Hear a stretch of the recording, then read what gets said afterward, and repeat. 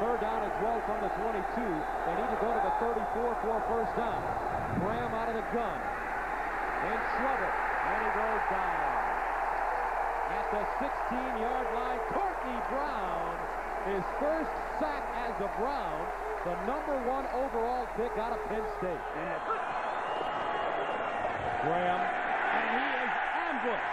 Courtney Brown again. That's number two. Graham steps up, goes down at the 10. That's going to be It's Graham. Still looking for his first completion. On a blitz. Graham in some trouble. And he's sacked. Courtney Brown able to wrap him up. McKenzie applied that pressure on the edge. A loss of five. Your decision making can be. From the shotgun on third and nine. Got a hand on him and down he goes. Now the Chicago Bear quarterbacks sacked twice all season long coming into this game. Now sacked. And he goes, I can correct things as the game goes along. Matthew goes down. Another sack by the Cleveland Browns. And Courtney Brown comes up with the fourth one of the day for Cleveland. Wow, Courtney Brown. I just, I did not think. Matthews is buried back at the 41. Guess who was in on Shane Matthews? Courtney Brown. 20 to 14.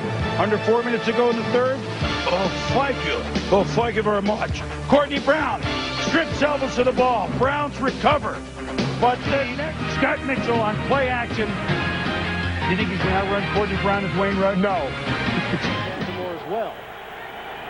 Second and 10. Line of scrimmage, 35. Maddox under a rush, loses the football, able to cover it up as Courtney Brown was curling in the pocket. And he put Maddox under some heat. Everyone here just inside the 20. Out of the gun. Maddox. Rush is coming. Maddox didn't feel it from the backside. And he is sacked. Courtney Brown. Defensive line in place of Warren. Second down, six. Play action with the block from James. They come from the side. He's brought down by Courtney Brown.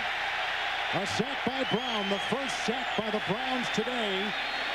And Courtney Brown now has 12 sacks in 33 games. They expected more from the former number one overall pick in the draft. Remember, coming final seconds of the first quarter. Garcia running out of time. Lost the football. Picked up by a lineman, number 78, Scott Gregg.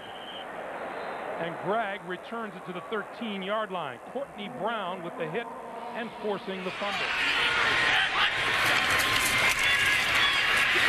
Maddox has it knocked away and recovered by the Brown. Courtney Brown, the left defensive end, stripped it and then recovered. What a great start for Cleveland. Four wide receivers for the Steelers. Blitz coming. Maddox steps up. He's in trouble, and they got him. And the guy who Nickel secondary, 20-yard line. Third down and six. Gannon fumbles the ball. It's loose and recovered by Brad Badger, one of those substitutes on the 19-yard line. And the Oakland Raiders, after getting a touchdown pass to Teyo Johnson from Gannon on their first possession, will have to punt for a third consecutive time. Now this is plenty of time. There's nothing wrong with the protection here. What really happens here is you've got Courtney Brown getting a hand on Rich Gannon as he's escaping.